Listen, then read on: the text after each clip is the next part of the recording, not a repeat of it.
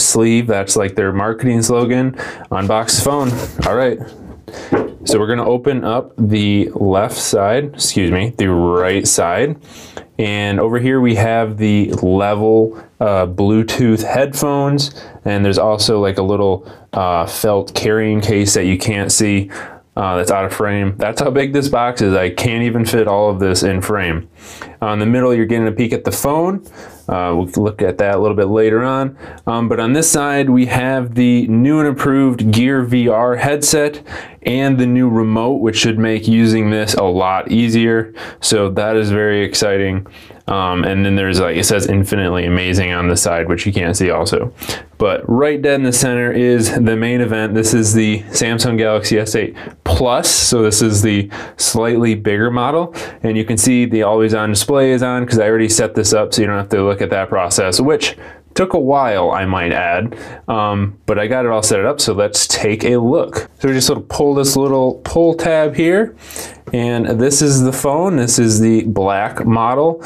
Uh, should be called the Fingerprint Plus, um, but I barely have touched this thing, and it's already covered in fingerprints. So um, it is glass, and it is a fingerprint magnet, but the black version looks pretty awesome.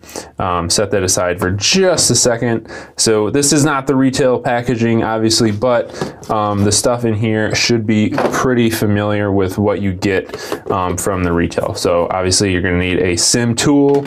Um, we got the wall adapter, some USB um, accessories like converting. Uh, so if you have like a micro USB cable, um, you can use this one to convert to USB Type C, which is nice since that's still pretty new. Um, okay, so headphones, AK, AKG headphones. These might not come with the retail version, um, but then you've got the uh, cable and looks like some tips for the headphones. Yep.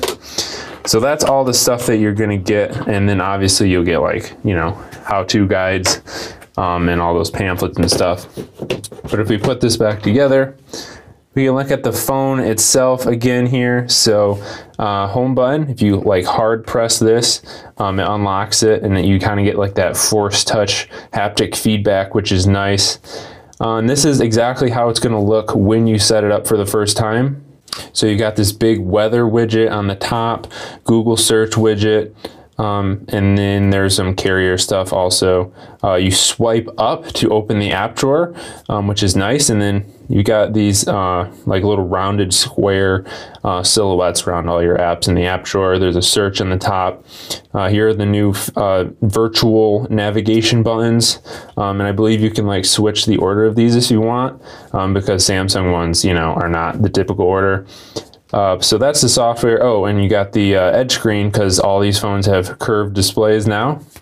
If we turn the display off, uh, we can see that there's volume and there's a Bixby button on the side, which we will go more into depth, I'm sure. Power button on that side. Nothing going on on the top. And then the uh, USB Type-C and headphone jack on the bottom. Thank you for the headphone jack, Samsung. Um, but that's pretty much it in terms of the unboxing. We will obviously have much more to talk about uh, in the coming weeks for this phone. But in the meantime, leave us your comments, uh, your questions, what you want to see us talk about with this device, what you want to see us show how to do, um, any just questions that you have about it uh, so that we know what kind of content to put out for you guys. Um, but until then, we will see you next time. Later, guys.